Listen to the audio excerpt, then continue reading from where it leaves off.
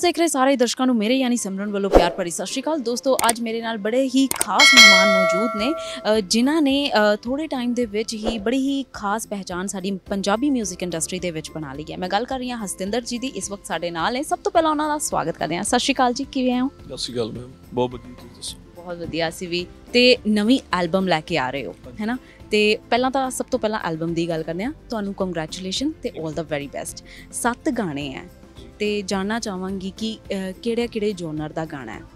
ਜੀ, ਸ਼ੁਕਰੀਆ ਮੈਮ ਤੁਹਾਡਾ ਬਹੁਤ ਬਹੁਤ ਹਾਂਜੀ ਐਲਬਮ 8 ਫੈਬ ਨੂੰ ਰਿਲੀਜ਼ ਹੋ ਰਹੀ ਹੈ ਸੁਪਰੀਮੈਸੀ ਤੇ ਅਸੀਂ ਇਸ 'ਚ ਕੋਸ਼ਿਸ਼ ਕੀਤੀ ਹੈ, ਅਲੱਗ-ਅਲੱਗ ਆਡੀਅנס ਨੂੰ ਅਲੱਗ-ਅਲੱਗ ਜਨਰ ਦੇ ਗੀਤ ਰੱਖਿਆ ਸੀ। ਰੋਮਾਂਟਿਕ ਵੀ ਨੇ ਸੈਡ ਵੀ ਨੇ। ਇੱਕ ਥੋੜਾ ਪਾਰਟਿਕੂਲਰਲੀ ਕਲਚਰਲ ਗਾਣਾ, ਧੀਆਂ ਬਾਰੇ। ਤੇ ਇੱਕ ਥੋੜਾ ਐਕਸਪੈਰੀਮੈਂਟਲ ਗਾਣਾ। ਤਾਂ ਮਿਕਸ ਨੇ ਜੀ ਸਾਰੇ ਵਿੱਚ ਕੁਝ ਗਾਣੇ ਨੇ ਜਿਹੜੇ ਤੁਸੀਂ ਖੁਦ ਵੀ ਲਿਖੇ ਨੇ ਤੇ ਤੁਸੀਂ ਬਾਕੀ ਰਾਈਟਰਸ ਤੋਂ ਵੀ ਗਾਣੇ ਲਿੱਤੇ ਨੇ ਰਾਈਟ ਤੇ ਅ, ਜਾਣਨਾ ਚਾਹਾਂਗੀ ਕਿ ਉਹ ਜਿਹੜੇ ਗਾਣੇ ਤੁਸੀਂ ਦੂਸਰੇ ਰਾਈਟਰਸ ਤੋਂ ਲਿੱਤੇ ਨੇ ਲਿਰਿਸਿਸਟ ਤੋਂ ਲਿੱਤੇ ਨੇ ਉਹਨਾਂ ਤੱਕ ਕਿਵੇਂ ਪਹੁੰਚੇ? ਉਹ ਐਕਚੁਅਲੀ ਪਹਿਲਾਂ ਤੋਂ ਜੁੜੇ ਹੋਏ ਸੀ ਮੈਮ ਸਾਨੂੰ ਕੁਝ ਮਹੀਨੇ ਹੋ ਗਏ ਇਸ ਐਲਬਮ ਤੇ ਕੰਮ ਕਰਦਿਆਂ ਨੂੰ। ਤਾਂ ਇਦਾਂ ਹੁੰਦਾ ਕਿ ਜਦੋਂ ਜਿੱਦਾਂ ਤੁਸੀਂ ਕੰਮ ਕਰਦੇ ਹੋ ਜਿੱਦਾਂ ਦੀ ਤੁਹਾਡੀ ਵਾਈਬ ਜਾਂਦੀ ਆ ਆਡੀਅנס ਦੇ ਵਿੱਚ ਉਦਾਂ ਦੇ ਲੋਕ ਤੁਹਾਡੇ ਨਾਲ ਜੁੜਦੇ ਰਹਿੰਦੇ ਤਾਂ ਅਪਰੋਚ ਕਰਦੇ ਨੇ, ਨਵੇਂ ਮੁੰਡੇ ਲਿਖਣ ਵਾਲੇ, ਉਹ ਵੀ ਅਪਰੋਚ ਕਰਦੇ ਨੇ। ਤਾਂ ਟਾਈਮ ਟੂ ਟਾਈਮ ਰਿਫਾਈਨ ਹੁੰਦਾ ਰਹਿੰਦਾ, ਵਧੀਆ ਆਡੀਅנס ਜੁੜਦੀ ਆ, ਵਧੀਆ ਸੁਣਨ ਵਾਲੇ ਜੁੜਦੇ ਆ, ਤਾਂ ਵਧੀਆ ਕੰਮ ਕਰਨ ਵਾਲੇ ਵੀ ਤੁਹਾਡੇ ਨਾਲ ਜੁੜਦੇ ਆ। ਤਾਂ ਇਸ ਐਲਬਮ ਦੇ ਵਿੱਚ ਜਿਹੜੇ ਰਾਈਟਰ ਜੁੜੇ ਹੋਏ ਨੇ 뮤직 ਡਾਇਰੈਕਟਰ ਜੁੜੇ ਹੋਏ ਨੇ, ਉਹਨਾਂ ਨੂੰ ਕਾਫੀ ਮਹੀਨੇ ਹੋ ਗਏ ਸਾਡੇ ਨਾਲ ਕੰਮ ਕਰਦੇ ਨੂੰ। ਤਾਂ ਅਸੀਂ ਸਿਲੈਕਟਿਵ ਦੀਆਂ ਚੀਜ਼ਾਂ ਇਕੱਠੀਆਂ ਕੀਤੀਆਂ ਨੇ ਐਲਬਮ ਦੇ ਵਿੱਚ। ਸਤਿੰਦਰ ਜਦੋਂ ਨਾ ਕੋਈ ਨਵਾਂ ਗਾਇਕ ਇੰਡਸਟਰੀ ਦੇ ਵਿੱਚ ਆਂਦਾ ਤਾਂ ਹਮੇਸ਼ਾ ਕੀ ਹੁੰਦਾ ਹੈ ਕਿ ਲੋਕ ਕਹਿ ਦਿੰਦੇ ਨੇ ਕਿ ਰਾਤੋਂ ਰਾਤ ਯਾਰ ਇਹ ਤੇ ਇਹਨੂੰ ਤੇ ਫੇਮ ਮਿਲ ਗਿਆ। ਬਟ ਉਹਦੇ ਤੋਂ ਪਿੱਛੇ ਜਿਹੜੇ ਜਿਹੜਾ ਸਟਰਗਲ ਹੁੰਦਾ ਕਈ ਸਾਲਾਂ ਦਾ ਹੁੰਦਾ ਬਹੁਤ ਸਾਰੇ ਲੋਕਾਂ ਦਾ ਹੁੰਦਾ ਹੈ, ਇਕੱਲੇ ਇੱਕ ਆਰਟਿਸਟ ਦਾ ਹੀ ਨਹੀਂ ਹੁੰਦਾ। ਤਾਂ ਉਹ ਸਟਰਗਲ ਟਾਈਮ ਜਿਹੜਾ ਹੈ, ਉਹ ਪੀਰੀਅਡ ਕਿਵੇਂ ਦਾ ਰਿਹਾ ਕੀ ਕੀ ਤੁਹਾਨੂੰ ਸਟਰਗਲ ਫੇਸ ਕਰਨਾ ਪਿਆ? ਹਾਂਜੀ ਮੈਨੂੰ ਇਹ ਲੱਗਦਾ ਕਿ ਹਰ ਇੱਕ ਇਨਸਾਨ ਦੀ ਹੀ ਆਪਣੀ ਸਟੋਰੀ ਹੈ ਜਿੱਦਾਂ ਜਿੱਦਾਂ ਗੋ ਥਰੂ ਹੁੰਦਾ ਲਾਈਫ ਦੇ ਵਿੱਚ। ਹਰ ਇੱਕ ਨੇ ਕੋਈ ਨਾ ਕੋਈ ਕੰਮ ਚੂਜ਼ ਕਰਨਾ ਹੁੰਦਾ ਕੋਈ ਨਾ ਕੋਈ ਕਿੱਤਾ ਚੂਜ਼ ਕਰਨਾ ਹੁੰਦਾ ਜਿੱਦਾਂ ਮੈਂ 뮤직 'ਚ ਕੀਤਾ। ਤਾਂ ਇਹ ਤਾਂ ਖੈਰ ਮੈਨੂੰ ਲੱਗਦਾ ਕਿ ਦੁਨੀਆਦਾਰੀ ਹੋਈ ਹੈ ਜਦੋਂ ਤੁਸੀਂ ਲਾਈਮਲਾਈਟ 'ਚ ਆ ਜਾਂਦੇ ਹੋ ਅੱਗੇ ਆ ਜਾਂਦੇ ਹੋ, ਲੋਕ ਤੁਹਾਨੂੰ ਜਾਣਨ ਲੱਗਦੇ ਨੇ ਉਦੋਂ। ਤਾਂ ਕੁਝ ਕੁ ਜਾਣੇ ਹੁੰਦੇ ਨੇ ਜਿਹੜੇ ਤੁਹਾਡੇ ਬਾਰੇ ਵੱਧ ਜਾਣਨਾ ਚਾਹੁੰਦੇ ਹੁੰਦੇ ਆ ਉਹ ਫਿਰ ਤੁਹਾਡੇ ਬਾਰੇ ਹੋਰ ਖੋਜ ਕਰਦੇ ਆ ਤਾਂ ਉਹਨਾਂ ਨੂੰ ਪਤਾ ਵੀ ਲੱਗਦਾ ਕਿ ਇਹਨੇ ਹੁਣ ਨਹੀਂ ਸ਼ੁਰੂ ਕੀਤਾ। ਕਾਫੀ ਟਾਈਮ ਹੋ ਗਿਆ ਬਟ ਹਾਂ ਮੈਜੋਰਿਟੀ ਆਫ ਆਡੀਅנס ਇਦਾਂ ਹੀ ਹੁੰਦੀ ਹੈ ਕਿ ਉਹਨਾਂ ਨੂੰ ਲੱਗਦਾ ਹੋ ਕਿ ਕੱਲ ਹੀ ਆਏ ਨੇ। ਤਾਂ ਹਰ ਇੱਕ ਦੀ ਆਪਣੀ ਆਪਣੀ ਸਟਰਗਲ ਆ। ਮੈਂ ਸਟਰਗਲ ਨਹੀਂ ਕਹਿੰਦਾ ਜ਼ਿਆਦਾ, ਮੈਂ ਜਰਨੀ ਕਹਿਣਾ ਹੁੰਦਾ, ਜਿੱਦਾਂ ਮੇਰੀ 10-12 ਸਾਲ ਦੀ ਜਰਨੀ ਹੈ। ਤਾਂ ਸਟੈਪ ਬਾਏ ਸਟੈਪ ਅੱਗੇ ਵਧੇ ਆ ਸਟੈਪ ਬਾਏ ਸਟੈਪ ਮੌਕੇ ਬਣੇ ਆ ਕੁਝ ਮੌਕੇ ਖੁੰਝੇ ਵੀ ਅਪਸ ਐਂਡ ਡਾਊਨਸ ਤਾਂ ਆਲ ਓਵਰ ਸੋਹਣੀ ਜਰਨੀ ਹੈ। ਤਾਂ ਐਟ ਲਾਸਟ ਇਹੀ ਹੈ ਕਿ ਤੁਸੀਂ ਜੇ ਪ੍ਰੋਸੀਡ ਕਰ ਰਹੇ ਹੋ, ਤੁਹਾਨੂੰ ਆਊਟਪੁੱਟ ਮਿਲ ਰਹੀ ਹੈ, ਲੋਕ ਤੁਹਾਨੂੰ ਪਿਆਰ ਦੇ ਰਹੇ ਨੇ, ਤੁਹਾਡਾ ਕੰਮ ਨਿਕਲ ਰਿਹਾ। ਤਾਂ ਇਹੀ ਚੀਜ਼ ਮੇਨ ਹੁੰਦੀ ਹੈ ਉਹ ਚੀਜ਼ ਹੋ ਰਹੀ ਹੈ ਤਾਂ ਮੈਨੂੰ ਲੱਗਦਾ ਖੁਸ਼ੀ ਦੀ ਗੱਲ ਹੈ ਮੇਰੇ ਲਈ। ਬਿਲਕੁਲ। ਤੁਸੀਂ ਜਿਵੇਂ ਦੱਸਿਆ ਕਿ 10-12 ਸਾਲਾਂ ਦਾ ਇਹ ਸਟਰਗਲ ਸੀਗਾ ਤਾਂ ਉਹ 10-12 ਸਾਲਾਂ ਦੇ ਵਿੱਚ ਬਹੁਤ ਵਾਰੀ ਬੰਦਾ ਜਿਹੜਾ ਇਹ ਗਿਰਦਾ ਵੀ ਹੈ ਉੱਠਦਾ ਵੀ ਹੈ। ਤਾਂ ਤੁਹਾਡੀ ਇਨਸਪੀਰੇਸ਼ਨ ਕੀ ਸੀ? ਕਦੇ ਉਹ ਵਕਤ ਵੀ ਆਇਆ ਕਿ ਜਦੋਂ ਲੱਗਾ ਹੋਵੇ ਛੱਡ ਯਾਰ ਕਿੱਧਰ ਫਸ ਗਏ ਆ ਕੋਈ ਹੋਰ ਕੰਮ ਕਰਦੇ ਆ? ਨਹੀਂ ਇਦਾਂ ਦਾ ਮੈਨੂੰ ਲੱਗਦਾ ਹੁੰਦਾ ਜੇ ਇਹ ਥਾਟ ਤੁਹਾਡੇ ਮਨ ਦੇ ਵਿੱਚ ਕਦੇ ਆ ਜਾਂਦਾ ਤੁਸੀਂ ਆਪਣੇ ਸੁਪਨੇ ਸੁਪਨਿਆਂ ਦੇ ਪਿੱਛੇ ਭੱਜ ਰਹੇ ਹੋ ਜਾਂ ਆਪਣੀ ਸੋਚ ਦੇ ਅਕੋਰਡਿੰਗ ਕੋਈ ਬਿਜ਼ਨਸ ਕਰਨਾ ਚਾਹੁੰਦੇ ਹੋ? ਜੇ ਮੈਨੂੰ ਲੱਗਦਾ ਤੁਹਾਡੇ ਮਾਈਂਡ- ਮਨ ਦੇ ਵਿੱਚ ਇਦਾਂ ਦਾ ਥਾਟ ਕੋਈ ਆਉਂਦਾ ਕਿ ਛੱਡੋ ਯਾਰ, ਹੁਣ ਨਹੀਂ ਹੋਣਾ ਜਾਂ ਹੁਣ ਨਹੀਂ ਕਰਨਾ ਚਾਹੀਦਾ, ਮੈਨੂੰ ਲੱਗਦਾ ਉਹੀ ਤੁਹਾਡਾ ਬ੍ਰੇਕਡਾਊਨ ਹੁੰਦਾ। ਇਹ ਥਾਟ ਕਦੇ ਵੀ ਨਹੀਂ ਹੋਣਾ ਚਾਹੀਦਾ। ਮੇਰੇ ਨਾਲ ਖੁਦ ਮੈਂ ਕਾਫੀ ਫੇਸ ਕੀਤਾ। ਅਪਸ ਐਂਡ ਡਾਊਨਸ ਜਿੱਦਾਂ ਮੈਂ ਦੱਸਿਆ ਕਿ ਪਾਰਟ ਹੁੰਦੇ ਨੇ, ਮੈਂ ਖੁਦ ਤਿੰਨ ਤਿੰਨ ਸਾਲ ਦਾ ਮੇਰਾ ਗੈਪ ਰਿਹਾ। ਮਿਊਜ਼ਿਕ 2014 ਚ ਮੈਂ ਸ਼ੁਰੂ ਕੀਤਾ ਸੀ। ਫਿਰ 2 ਸਾਲ ਦਾ ਗੈਪ ਫਿਰ 3 ਸਾਲ ਦਾ ਗੈਪ ਪਰ ਡੀਪ ਡਾਊਨ ਮੈਨੂੰ ਭਰੋਸਾ ਹੈਗਾ ਸੀ ਕਿ ਅੱਜ ਨਹੀਂ ਤਾਂ ਕੱਲ ਹੋ ਸਕਦਾ ਮੈਨੂੰ ਕੋਈ ਰਾਹ ਹੋਰ ਫੜਨਾ ਪਵੇ ਬਟ ਮੈਨੂੰ ਇਹ ਪਤਾ ਸੀ ਕਿ ਮੈਂ ਜਾਣਾ ਕਿੱਧਰ ਨੂੰ ਮੈਂ ਡਾਇਰੈਕਸ਼ਨ ਦਾ ਪਤਾ ਸੀ। ਤਾਂ ਉਦਾਂ ਦਾ ਮੈਂ ਕੋਈ ਥਾਊਟ ਮਨ ਦੇ ਵਿੱਚ ਆਉਣ ਨਹੀਂ ਦਿੱਤਾ ਕਿ ਇਹ ਹੋਣਾ ਨਹੀਂ ਮੈਥੋਂ ਜਾਂ ਨਹੀਂ ਹੋਣਾ। ਮੈਨੂੰ ਆਪਦੇ ਆਪ ਤੇ ਬਲੀਵ ਸੀ, ਮੇਰੇ ਕੰਮ ਤੇ ਬਲੀਵ ਸੀ। ਤਾਂ ਜਿਹੜੀ ਇੱਕ ਮਿਹਨਤ ਹੁੰਦੀ ਆ, ਉਹ ਤੁਹਾਨੂੰ ਕਰਨੀ ਚਾਹੀਦੀ ਆ। ਡੇਲੀ ਕਰਨੀ ਚਾਹੀਦੀ ਆ। ਉਹ ਤੁਹਾਨੂੰ ਜੋੜੀ ਰੱਖਦੀ ਆ, ਤੁਹਾਡਾ ਹੌਸਲਾ ਨਹੀਂ ਟੁੱਟਣ ਦਿੰਦੀ। ਮੈਂ ਇਦਾਂ ਹੀ ਕੀਤਾ। ਤਾਂ ਮੈਨੂੰ ਲੱਗਦਾ ਮੈਂ ਇਸ ਚੀਜ਼ ਦੇ ਵਿੱਚ ਕਾਮਯਾਬ ਰਿਹਾ ਕਿ ਮੈਂ ਆਪਣੇ ਆਪ ਨੂੰ ਟੁੱਟਣ ਨਹੀਂ ਦਿੱਤਾ ਮਾੜੇ ਟਾਈਮ ਦੇ ਵਿੱਚ। ਤੇ ਇਨਸਪਾਇਰ ਕੌਣ ਕਰਦਾ ਸੀ ਤੁਹਾਨੂੰ? ਇਨਸਪਾਇਰ ਮੈਨੂੰ ਆਸੇ-ਪਾਸ ਦੇ ਮੈਂ ਦੇਖਦਾ ਜਿੱਦਾਂ ਈਵਨ ਕਿ ਮੈਂ ਆਪਣੀ ਫੈਮਿਲੀ ਨੂੰ ਦੇਖਾਂ ਮੇਰੇ ਹੋਰ ਦੋਸਤਾਂ ਨੂੰ ਦੇਖਾਂ ਜਿਹੜੇ ਮੈਥੋਂ ਪਹਿਲਾਂ ਇੱਧਰ ਆਏ ਸੀ ਉਹ ਵੀ ਕੰਮ ਕਰ ਰਹੇ ਆ। ਇੱਕ ਥਰੂ ਆਊਟ ਸਟਰਗਲ ਹੈ ਜਿਹੜੀ ਡੇ ਨਾਈਟ ਦੀ ਇੱਕ ਸੁਪਨੇ ਦੇ ਪਿੱਛੇ ਪਿੱਛੇ ਭੱਜਣ ਦੀ। ਮੈਨੂੰ ਲੱਗਦਾ ਕਿ ਉਹੀ ਤੁਹਾਨੂੰ ਇਨਸਪਾਇਰ ਕਰਦੀ ਹੈ ਕਿ ਤੁਸੀਂ ਕੱਲ ਦੇ ਨਾਲੋਂ ਅੱਜ ਬੈਟਰ ਕੀਤਾ ਤਾਂ ਇਹੀ ਉਮੀਦ ਹੁੰਦੀ ਹੈ ਕਿ ਅੱਜ ਦੇ ਨਾਲੋਂ ਤੁਸੀਂ ਆਉਣ ਵਾਲੇ ਕੱਲ ਬੈਟਰ ਕਰੋਗੇ। ਇਸ ਤੋਂ ਵੱਡੀ ਇਨਸਪੀਰੇਸ਼ਨ ਮੈਨੂੰ ਲੱਗਦਾ ਨਹੀਂ ਕਿ ਹੋਰ ਹੋ ਸਕਦੀ ਹੈ। ਵੈਲੈਂਟਾਈਨ ਵੀਕ ਜਿਹੜਾ ਹੈ ਸ਼ੁਰੂ ਹੋ ਗਿਆ ਤੇ 8 ਤਰੀਕ ਨੂੰ ਤੁਹਾਡੀ ਐਲਬਮ ਜਿਹੜੀ ਹੈ ਰਿਲੀਜ਼ ਹੋ ਰਹੀ ਹੈ। ਤੇ ਕੋਈ ਐਵੇਂ ਦਾ ਗੀਤ ਜੋ ਇਸ ਐਲਬਮ ਦੇ ਵਿੱਚ ਇਸ ਵੈਲੈਂਟਾਈਨ ਵੀਕ ਨੂੰ ਖਾਸ ਬਣਾ ਦੇਗਾ ਉਹਨਾਂ ਜੋੜੀਆਂ ਦੇ ਲਈ? ਹਾਂਜੀ ਦੋ ਗਾਣੇ ਹੈਗੇ ਨੇ ਰੋਮਾਂਟਿਕ ਮੈਮ ਮੈਨੂੰ ਉਮੀਦ ਆ ਕਿ ਪਸੰਦ ਆਉਣਗੇ। ਉਹ ਮੇਰੇ ਲਈ ਵੀ ਉਹ ਨਵੀਂ ਚੀਜ਼ ਸੀ ਮੈਂ ਉਦਾਂ ਦੇ ਗਾਣੇ ਕੀਤੇ ਨੇ। ਥੋੜੇ ਵੈਸਟਰਨ 뮤직 ਦੇ ਵਿੱਚ ਸਾਊਂਡਸ ਨਵੇਂ ਨੇ ਤਾਂ ਮੈਨੂੰ ਖੁਦ ਨੂੰ ਪਸੰਦ ਨੇ ਗਾਣੇ ਤਾਂ ਹੋਪਫੁਲੀ ਆਡੀਅנס ਨੂੰ ਵੀ ਪਸੰਦ ਆਉਣਗੇ ਗਾਣੇ ਜੀ। ਬਿਲਕੁਲ। ਅੱਛਾ ਜਿਵੇਂ ਤੁਸੀਂ ਦੱਸਿਆ ਸੀਗਾ ਪ੍ਰੈਸ ਕਾਨਫਰੰਸ ਦੇ ਵਿੱਚ ਕਿ ਤੁਸੀਂ ਲਾਈਵ ਵੀ ਕਰਦੇ ਹੋ ਹੈਨਾ? ਤਾਂ ਤੁਹਾਡੇ ਤੋਂ ਜਾਣਨਾ ਚਾਹਾਂਗੀ ਲਾਈਵ ਕਨਸਰਟ ਕਰਨ ਦਾ ਜ਼ਿਆਦਾ ਮਜ਼ਾ ਆਉਂਦਾ ਜਾਂ ਫਿਰ ਸਟੂਡੀਓ ਦੇ ਵਿੱਚ ਰਿਕਾਰਡ ਕਰਨ ਦਾ? ਇਹ ਦੋਨਾਂ ਦਾ ਅਲੱਗ-ਅਲੱਗ ਚੀਜ਼ਾਂ ਨੇ ਜੀ ਦੋਵੇਂ। ਸਟੂਡੀਓ ਦੇ ਵਿੱਚ ਬੜੀ ਕੰਟਰੋਲਡ ਵਾਈਬ ਹੁੰਦੀ ਹੈ ਸਾਰੀ। ਤੁਸੀਂ ਇੱਕ ਉਦਾਂ ਦੀ ਚੀਜ਼ ਕ੍ਰੀਏਟ ਕਰਨੀ ਹੁੰਦੀ ਹੈ ਜਿਹੜੀ ਨੇ ਬਹੁਤ ਲੰਮੇ ਸਮੇਂ ਤੱਕ ਰਹਿਣਾ ਹੁੰਦਾ। ਉਹਨੇ ਇੱਕ ਡਾਕੂਮੈਂਟ ਬਣ ਜਾਣਾ ਹੁੰਦਾ। ਤਾਂ ਉਦੋਂ ਸਾਨੂੰ ਥੋੜਾ ਕੰਟਰੋਲਡ ਥੋੜਾ ਜਿਹੜਾ ਅਸੀਂ ਸਿੱਖਿਆ ਹੋਇਆ, ਉਹ ਉੱਥੇ ਕੰਮ ਆਉਂਦਾ। ਬਾਕੀ ਸਟੂਡੀਓ ਦਾ ਜਿਹੜਾ ਕੰਮ ਉਹਦਾ ਵੀ ਅਲੱਗ ਐਕਸਪੀਰੀਅੰਸ ਆ ਮੈਂ ਪਿਛਲੇ 7-8 ਸਾਲਾਂ ਤੋਂ ਐਕਸਪੀਰੀਅੰਸ ਕਰ ਰਿਹਾ ਮੈਂ ਡੇਲੀ ਸਿੱਖਦਾ, ਨਵੇਂ-ਨਵੇਂ 뮤직 ਡਾਇਰੈਕਟਰਸ ਨਾਲ ਕੰਮ ਕਰੀਦਾ, ਨਵੇਂ-ਨਵੇਂ ਵੱਡੇ ਛੋਟੇ ਸਟੂਡੀਓਜ਼ 'ਚ ਜਾਈਦਾ, ਉੱਥੇ ਹਰ ਇੱਕ ਜਗ੍ਹਾ ਜਾ ਕੇ ਨਵੀਂ ਗੱਲ ਸਿੱਖਣ ਨੂੰ ਮਿਲਦੀ ਹੈ, ਉਹਨੂੰ ਫਿਰ ਅਪਲਾਈ ਕਰੀਦਾ। ਉਹਦਾ, ਉਹ ਇੱਕ ਮੈਨੂੰ ਲੱਗਦਾ ਕਿ ਲਰਨਿੰਗ ਪ੍ਰੋਸੈਸ ਜ਼ਿਆਦਾ ਕੰਮ ਵੀ ਕਰੀਦਾ, ਸਿੱਖੀਦਾ ਵੀ ਹੈ। ਪਰ ਜਿਹੜਾ ਲਾਈਵ ਵਾਲਾ, ਉਹ ਮੇਰਾ ਖੁਦ ਦਾ ਮਜ਼ਾ ਉਹਦੇ 'ਚ ਹੀ ਆ ਬਿਕੋਜ਼ ਮੈਨੂੰ ਮੈਂ ਕਾਲਜ ਟਾਈਮ ਤੋਂ ਲਾਈਵ ਗਾਉਣਾ ਤੇ ਮੈਨੂੰ ਬੜੀ ਉਡੀਕ ਵੀ ਸੀ ਇਸ ਚੀਜ਼ ਦੀ ਕਿ ਕੋਈ ਸਮਾਂ ਇਦਾਂ ਦਾ ਆਊਗਾ, ਮੈਂ ਜਦੋਂ ਲਾਈਵ ਸ਼ੋਜ਼ ਕਰੂੰਗਾ ਤਾਂ ਹੁਣ ਮੈਂ ਕਰ ਰਿਹਾ, ਤਾਂ ਮੈਨੂੰ ਆਨੰਦ ਆ ਰਿਹਾ ਵਧੀਆ, ਸੋਹਣਾ।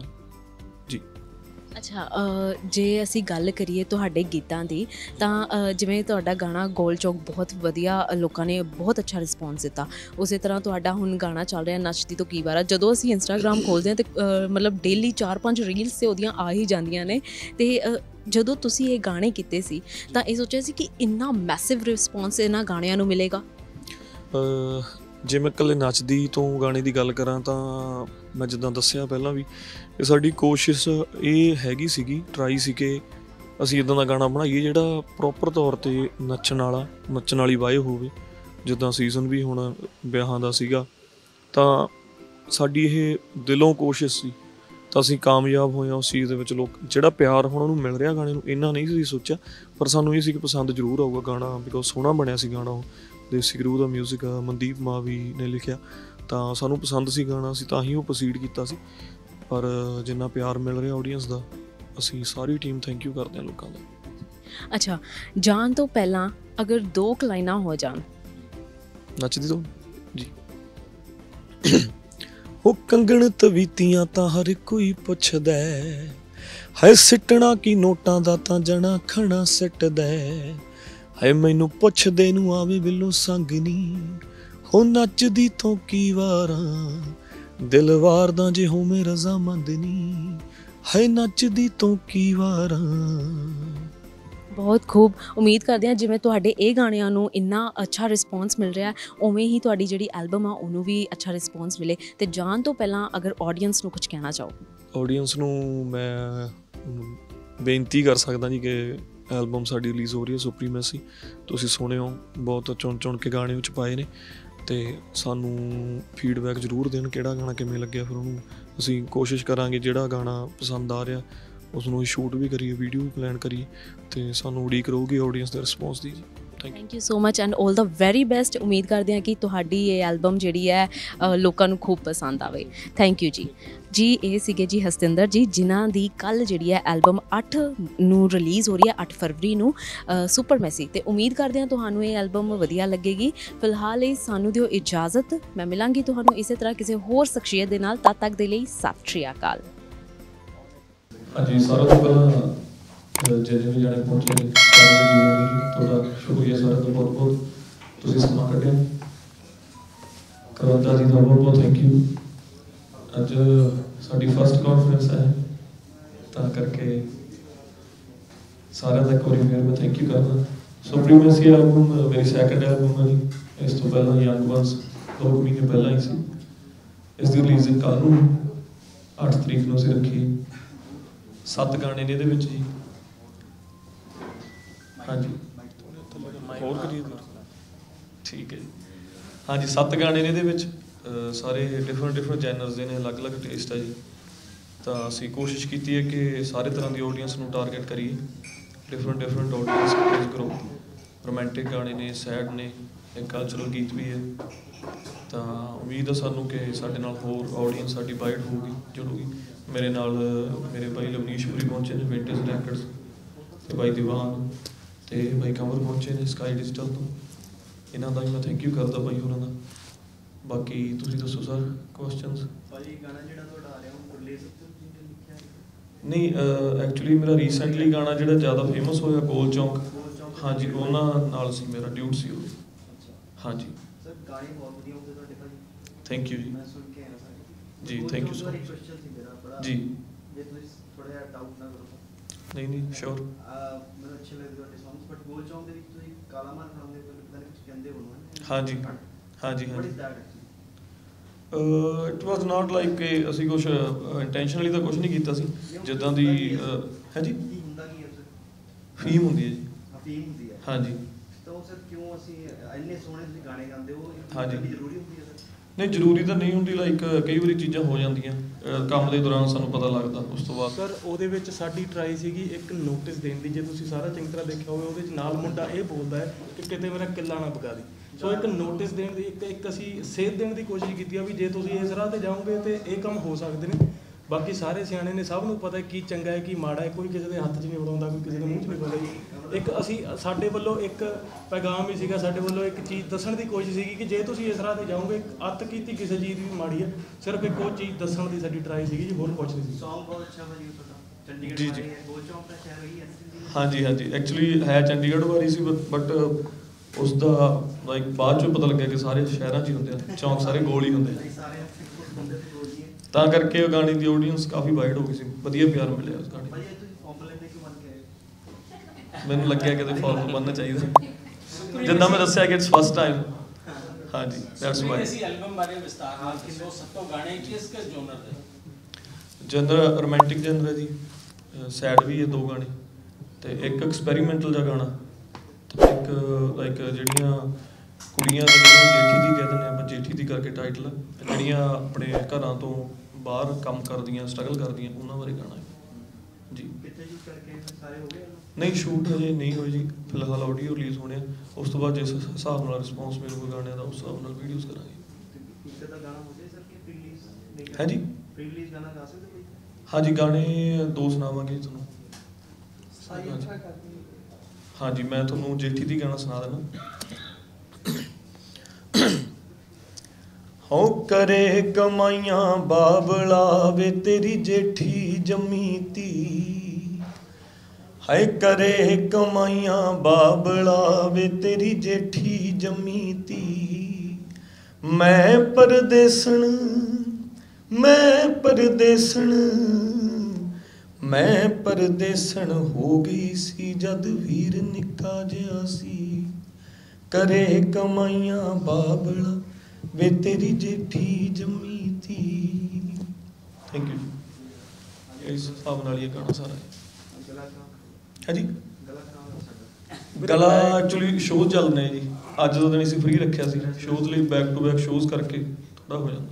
ਸਰ ਆਪਣਾ ਕੀ ਕਹਿੰਦੇ ਕਿੱਥੋਂ ਆਉਂਦੇ ਤੁਸੀਂ? ਆਪਣੇ ਬਾਰੇ ਥੋੜਾ ਦੱਸ ਦਿਓ ਸਰ ਤੁਹਾਡੇ ਵਿਊਅਰਸ ਬਹੁਤ ਫੈਨਸ ਬਹੁਤ। ਤੁਹਾਡੇ ਜੀ। ਬਾਰੇ ਕਿ- ਸਾਰਾ ਕੁਝ ਜਾਣਨਾ ਚਾਹੁੰਦੇ ਹੋ, ਸਾਰਾ ਕੁਝ ਦੱਸ ਦਿਓ। please। ਮੇਰਾ ਪਿੰਡ ਭਦੌੜ ਹੈ ਜੀ ਡਿਸਟ੍ਰਿਕਟ ਬਰਨਾਲਾ। ਤਾਂ ਮੇਰੀ ਸਕੂਲਿੰਗ ਵੀ ਉੱਥੋਂ ਦੀ ਹੋਈ ਆ। ਕਾਲਜ ਮੈਂ ਬਰਨਾਲੇ ਪੜ੍ਹਿਆ ਜੀ। ਉਸ ਤੋਂ ਬਾਅਦ ਮੈਂ 2013 ਤੋਂ ਇੱਥੇ ਹੀ ਆ ਮਹਾਲੀ, ਚੰਡੀਗੜ੍ਹ। ਪਹਿਲਾਂ ਚੰਡੀਗੜ੍ਹ ਰਿਹਾ ਮੈਂ 4 ਸਾਲ, ਫਿਰ 2017 ਤੋਂ ਮੈਂ ਮਹਾਲੀ ਹਾਂ ਜੀ। ਅਹ ਮੈਂ 뮤직 ਰਿਗਾਰਡਿੰਗ ਹੀ ਇੱਥੇ ਸ਼ਿਫਟ ਕੀਤਾ ਸੀ। ਤਾਂ ਹੌਲੀ ਹੌਲੀ 2014 ਚ ਵੀ ਮੈਂ ਦੋ ਗੀਤ ਕੀਤੇ ਸੀ। ਉਸ ਤੋਂ ਬਾਅਦ ਇੱਕ ਗੀਤ 2016 ਚ ਕੀਤਾ। ਤਾਂ ਉਸ ਤੋਂ ਬਾਅਦ ਥੋੜਾ ਗੈਪ ਰਿਹਾ ਤਿੰਨ ਕੁ ਸਾਲ ਦਾ। ਉਸ ਤੋਂ ਬਾਅਦ ਮੈਂ ਦੁਬਾਰੇ ਸ਼ੁਰੂ ਕੀਤਾ 2019 ਦੇ ਵਿੱਚ ਪਿੰਡ ਦੀ ਗਾਣੇ ਨਾਲ। ਕਾਲਜ ਚ ਗਾਉਂਦੇ ਸੀ ਹਾਂਜੀ ਕਾਲਜ ਗਾਉਂਦਾ ਰਿਹਾ ਸਕੂਲ ਵੀ ਗਾਉਂਦਾ ਰਿਹਾ। ਮਤਲਬ ਤੁਹਾਨੂੰ ਉੱਥੋਂ ਮਤਲਬ ਹੱਲਾ ਸ਼ੇਰੀ ਮਿਲੀ? ਕਿ ਯਾਰ ਗਾ ਮਿਊਜ਼ਿਕ ਐਕਚੁਅਲੀ ਫੈਮਿਲੀ ਚ ਸੀ ਮੇਰੇ ਡੈਡੀ ਆਰਟਿਸਟ ਕਾਈਂਡ ਆਫ ਉਹਨਾਂ ਦਾ ਨੇਚਰ ਆਰਟਿਸਟਿਕ ਸੀ। ਉਹ ਲਿਖਦੇ ਵੀ ਸੀ ਗਾਉਂਦੇ ਵੀ ਸੀ। ਦੋ ਤਿੰਨ ਇਨਸਟਰੂਮੈਂਟ ਵੀ ਪਲੇ ਕਰ ਲੈਂਦੇ ਸੀ। ਤੁਸੀਂ ਕਿਹਨੂੰ ਫੋਲੋ ਕਰਦੇ ਹੋ? ਫੋਲੋ ਮੈਂ ਕਿਸੇ ਨੂੰ ਪਾਰਟਿਕੂਲਰਲੀ ਕਿਸੇ ਨੂੰ ਫੋਲੋ ਨਹੀਂ ਕਰਦਾ ਕਿਸੇ ਸੁਣਦੇ ਹਾਂਜੀ ਸੁਣਦੇ ਮੈਂ ਸਾਰੇ ਜਿਹੜੇ ਪੁਰਾਣੇ ਆਰਟਿਸਟ ਨੇ ਉਹਨਾਂ ਨੂੰ ਜ਼ਿਆਦਾ ਸੁਣਦਾ। ਲਾਈਕ ਜਿੱਦਾਂ ਅਮਰ ਸਿੰਘ ਚਮਕੀਲਾ ਜੀ ਹੋ ਗਏ ਮਾਨਕ ਸਾਹਿਬ ਹੋ ਗਏ, ਗੁਰਦਾਸ ਮਾਨ ਸਾਹਿਬ ਹੋ ਗਏ, ਜਾਂ ਅਲੱਗ-ਅਲੱਗ ਫੀਲਡਸ ਨੇ, ਜਿੱਦਾਂ ਨੁਸਰਤ ਸਾਹਿਬ ਹੋ ਗਏ, ਤਾਂ ਮੇਰੀ ਟਰਾਈ ਹੁੰਦੀ ਹੈ ਕਿ ਅਲੱਗ-ਅਲੱਗ ਜੈਨਰਸ ਨੂੰ ਸੁਣਿਆ ਜਾਵੇ, ਤਾਂ ਓਬਵੀਅਸਲੀ ਜਿਹੜੀ ਇਨਪੁਟ ਆਪਾਂ ਲੈਨੇ ਆ ਉਦਾਂ ਦੀ ਆਊਟਪੁੱਟ ਨਿਕਲਦੀ ਹੈ। ਮੇਰੀ ਟਰਾਈ ਹੁੰਦੀ ਹੈ ਕਿ ਸਾਰੀ ਤਰ੍ਹਾਂ ਦੀ ਆਡੀਅנס ਜਿੰਨੇ ਜੈਨਰਸ ਨੇ ਬੀਟ Song ਹੋ ਗਏ, ਜਿੱਦਾਂ ਰੀਸੈਂਟਲੀ ਸਾਡਾ ਗਾਣਾ ਕਾਫੀ ਪਿਆਰ ਮਿਲਦੇ ਹਨ, ਨੱਚਦੀ ਤੋਂ ਕੀ ਵਾਰ। ਤਾਂ ਉਹ ਸਾਡੀ ਟਰਾਈ ਸੀ ਕਿ ਉਦਾਂ ਦੇ ਭੰਗੜਾ Song ਜਿੱਦਾਂ ਹੈਗੇ ਆ, ਪੰਜਾਬੀ ਚ ਹੁੰਦੇ ਨੇ ਪ੍ਰੋਪਰ ਭੰਗੜਾ Song ਤਾਂ ਟਰਾਈ ਰਹਿੰਦੀ ਹੈ ਕਿ ਅਲੱਗ-ਅਲੱਗ ਤਰ੍ਹਾਂ ਦੇ ਜੈਨਰ ਟਰਾਈ ਕਰੀਏ ਬਣਾਈਏ ਉਦਾਂ ਦੇ ਗਾਣੇ। ਗੋਲ ਚੌਂਕ ਜਿਵੇਂ ਸੁਣਾ ਗਿਆ ਸੀ ਕਿ ਵੀ ਗੋਲ ਚੌਂਕ ਵਾਲਾ ਸ਼ਹਿਰ ਮੇਨਲੀ ਤਾਂ ਚੰਡੀਗੜ੍ਹ ਹੀ ਹੈ ਹਾਂਜੀ ਹਾਂਜੀ। ਜੀ ਜ਼ਰੂਰ।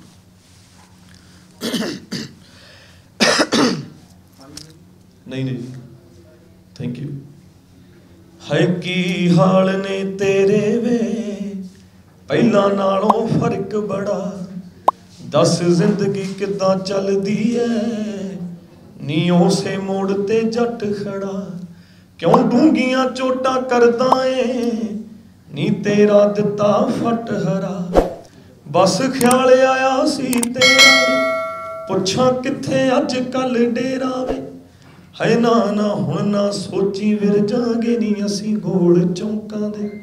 ਸ਼ਹਿਰ ਦੇ ਵਿੱਚ ਤੈਨੂੰ ਤੇਲ ਫੂਕਦੇ ਮਿਲ ਜਾਗੇ ਥੈਂਕ ਯੂ ਜੀ ਭਾਈ ਕੋਈ ਗਾਣਾ ਤੁਸੀਂ ਆਪ ਵੀ ਲਿਖਿਆ ਹੈ ਕੋਈ ਗਾਣਾ ਗੋਲ ਚੌਂਕ ਮੇਰਾ ਖੁਦ ਦਾ ਲਿਖਿਆ ਹੋਇਆ?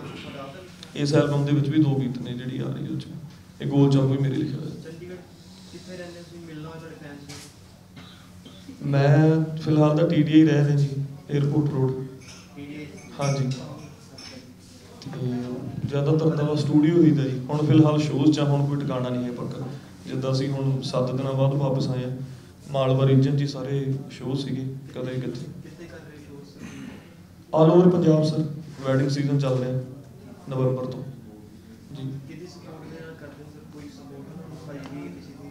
ਕੋਈ ਸਪੋਰਟ ਜਿਹੜੇ ਪੁਰਾਣੇ ਜੁੜੇ ਹੋਏ ਨੇ ਮੇਰੇ ਨਾਲ ਹੀ ਬੈਠੇ ਨੇ ਲਵਨੀਸ਼ਪੁਰੀ ਅਸੀਂ 2012-13 ਤੋਂ ਜੁੜੇ ਹੋਏ ਹਾਂ ਇਕੱਠੇ। ਤਾਂ ਅਸੀਂ ਮਿਲ ਕੇ ਕੰਮ ਕਰ ਰਹੇ ਹਾਂ। ਹੋਰ ਵੀ ਕਾਫੀ ਭਰਾ ਨੇ ਮੇਰੇ ਜਿਹੜੇ ਪੁਰਾਣੇ ਜੁੜੇ ਹੋਏ ਨੇ। ਤਾਂ ਸਾਰਾ ਮੇਰੀ ਟੀਮ ਪੁਰਾਣੇ ਦੋਸਤ ਸਾਰੇ ਇਕੱਠੇ ਨੇ। ਕਰਨੀਸ਼ ਜੀ ਕੋਈ ਪੰਜਾਬੀ 뮤직 ਇੰਡਸਟਰੀ ਕਿੰਨੀ ਟਫ ਹੋਣ ਵਾਲੀ ਹੈ ਕਿ ਆਸਾਨ ਹੋਣ ਵਾਲੀ ਸਰ ਜਿਨ੍ਹਾਂ ਦਾ ਕੰਟੈਂਟ ਸਟਰੋਂਗ ਹੈ ਜੀ। ਜਿਵੇਂ ਅਸੀਂ ਆਪਣੇ ਕੰਟੈਂਟ ਨੂੰ ਲੈ ਕੇ ਬਹੁਤ ਸਿਲੈਕਟਿਵ ਆ ਤੇ ਜਿਨ੍ਹਾਂ ਦਾ ਤਾਂ ਕੰਟੈਂਟ ਸਟਰੋਂਗ ਹੈ, ਸਾਨੂੰ ਸਾਡੇ ਕੰਟੈਂਟ ਤੇ ਯਕੀਨ ਹੈ, ਉਹਨਾਂ ਲਈ ਤਾਂ ਕੁਝ ਟਫ ਨਹੀਂ ਹੈਗਾ ਜੀ। ਤੇ ਸਾਨੂੰ ਸਾਡੀ ਵਿਜ਼ਨ ਹੈਗੀ ਆ, ਅਸੀਂ ਉਸੇ ਤੇ ਤੁਰੇ ਹੋਏ ਆ 2019 ਤੋਂ ਲੈ ਕੇ ਹੁਣ ਤੱਕ।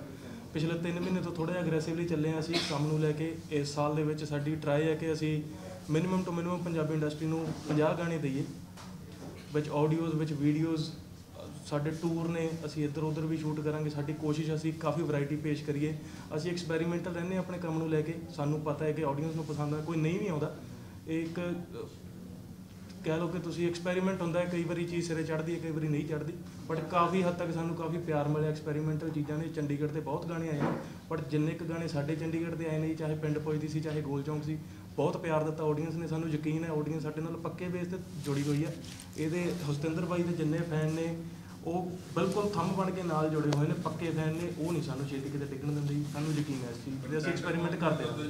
ਹਾਂਜੀ ਕੰਟੈਂਟ ਬਈ ਅਸੀਂ ਸਾਰੇ ਰਲ ਕੇ ਯੂਜ਼ ਕਰਦੇ ਹਾਂ। ਸਾਡੀ ਟੀਮ ਬਹੁਤ ਵੱਡੀ ਹੈ ਜੀ ਬਾਕੀ ਨਵੇਂ ਭਰਾ ਸਾਡੇ ਨਾਲ ਜੁੜਦੇ ਨੇ ਗਾਈਡੈਂਸ ਮਿਲਦੀ ਹੈ ਅਸੀਂ ਵੀ ਕਿਤੇ ਸਾਨੂੰ ਵੀ ਸਾਰੀ ਚੀਜ਼ ਦਾ ਪਤਾ ਨਹੀਂ ਹੈਗਾ ਜਿਵੇਂ ਜਿਵੇਂ ਸਾਨੂੰ ਸਾਡੇ ਭਰਾ ਮਿਲਦੇ ਨੇ ਸਾਨੂੰ ਦੱਸਦੇ ਨੇ ਸਮਝਾਉਂਦੇ ਨੇ ਕੀ ਚੀਜ਼ ਚੱਲ ਰਹੀ ਹੈ ਕੀ ਅਸੀਂ ਅਡੈਪਟ ਕਰਦੇ ਹਾਂ ਕੀ ਸਾਡੀ ਵਿਜ਼ਨ ਹੈ ਉਦਾਂ ਉਦਾਂ ਅਸੀਂ ਐਕਸਪੈਰੀਮੈਂਟ ਕਰਦੇ ਜਾਂਦੇ ਹਾਂ, ਕਈ ਸਿਰੇ ਚੜ ਜਾਂਦੇ ਨੇ ਕਈ ਨਹੀਂ ਵੀ ਚੜਦੇ ਇਹ ਪਾਰਟ ਆਫ ਅ ਗੇਮ ਹੈ ਜੀ ਚੱਲਦਾ ਜੇਕਰ ਰਹਿੰਦਾ ਅਸੀਂ ਜੀ ਗੱਲ ਕਰੀਏ ਪੰਜਾਬੀ 뮤직 ਇੰਡਸਟਰੀ ਅਸੀਂ ਰੀਸੈਂਟਲੀ ਦੇਖਿਆ ਕਿ ਕਾਫੀ ਕੁਝ ਐਕਸਪੈਰੀਮੈਂਟਲ ਹੋ ਰਿਹਾ 뮤직 ਇੰਡਸਟਰੀ ਦੇ ਵਿੱਚ ਚਾਹੇ 뮤직 ਦੀ ਗੱਲ ਹੋਵੇ ਜਾਂ ਫਿਰ ਜਨਰ ਦੀ ਗੱਲ ਹੋਵੇ ਤੇ ਇਸ ਪਾਰਟਿਕੂਲਰਲੀ ਇਸ ਐਲਬਮ ਦੇ ਵਿੱਚ ਸਾਨੂੰ ਕੀ ਕੁਝ ਨਵਾਂ ਸੁਣਨ ਨੂੰ ਮਿਲਿਆ? ਇੱਕ ਸਾਡਾ ਹਿਸਟਰੀ ਬੇਸਡ ਗਾਣਾ ਹੈ ਜੀ ਹਿਸਟੋਰੀਕਲ ਗਾਣਾ ਹੈ, ਜਿਹੜਾ ਪੁਰਾਣੇ ਲੋਕਾਂ ਨੂੰ ਪਸੰਦ ਆਏਗਾ ਇਹ ਗਾਜਾ ਪੱਟੀ। ਧੀਆਂ ਬਾਰੇ ਗੱਲ ਘੱਟ ਹੁੰਦੀ ਹੈ ਜੀ, ਅਸੀਂ ਉਹ ਗੱਲ ਕਰਨ ਦੀ ਕੋਸ਼ਿਸ਼ ਕੀਤੀ ਹੈ।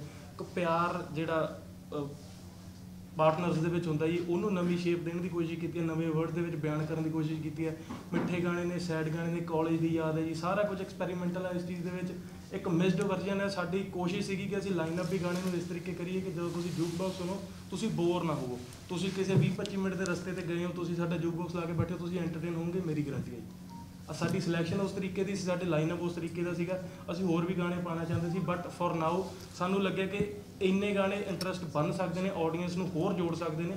ਬਾਕੀ ਸਾਡੇ ਡਿਜੀਟਲ ਪਾਰਟਨਰ ਵੀ ਹੁਣ ਜੁੜੇ ਨੇ ਨਾਲ ਸਕਾਈ ਡਿਜੀਟਲ ਦੇਖਦੇ ਜੀ, ਉਹ ਵੀ ਕਾਫੀ ਉੱਚ ਲੈਵਲ ਤੇ ਕੰਮ ਕਰ ਰਹੇ ਨੇ ਸਾਡੇ ਨਾਲ ਕਾਫੀ ਸਾਨੂੰ ਪ੍ਰਮੋਟ ਹੁਣ ਕਰਨਗੇ।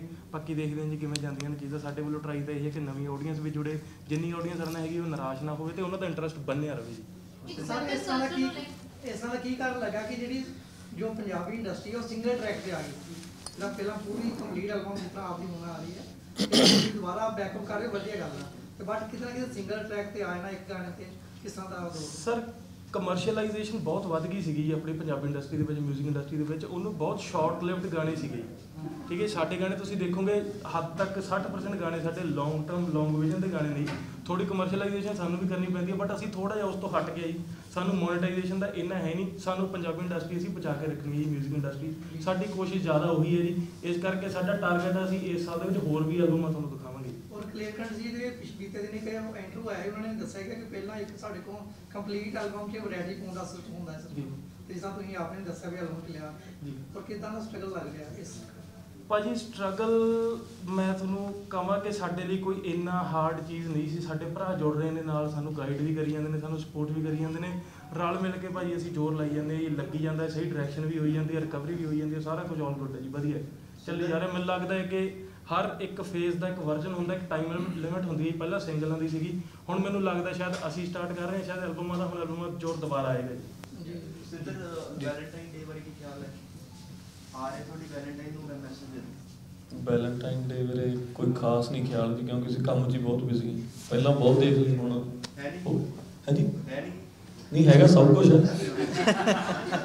ਪਰ ਮੈਂ ਕਹਿੰਦਾ ਕਿ ਇੱਕ ਫਿਲਹਾਲ ਕੰਮ ਤੇ ਫੋਕਸ ਹੈ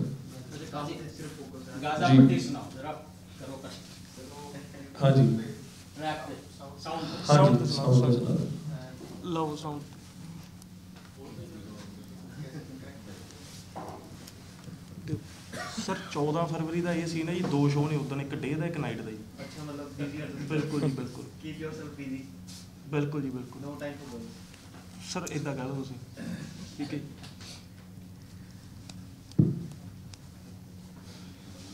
ਅੱਛਾ ਹੁਸਿੰਦਰ ਜੀ ਕੋਈ ਜੀ। ਐਸਾ ਗੀਤ ਤਾਂ ਐਲਬਮ ਚ ਹੋਏਗਾ ਜਿਹੜਾ ਵੈਲੈਂਟਾਈਨਸ ਵੀਕ ਦੇ ਵਿੱਚ ਜੋ ਹਾਂਜੀ। ਜੋੜੇ ਨੇ ਉਹ ਸੁਣ ਸਕਣ ਹੈਗੇ ਨੇ ਜੀ ਗਾਣੇ ਦੋ ਗਾਣੇ ਰੋਮਾਂਟਿਕ ਹੈਗੇ ਨੇ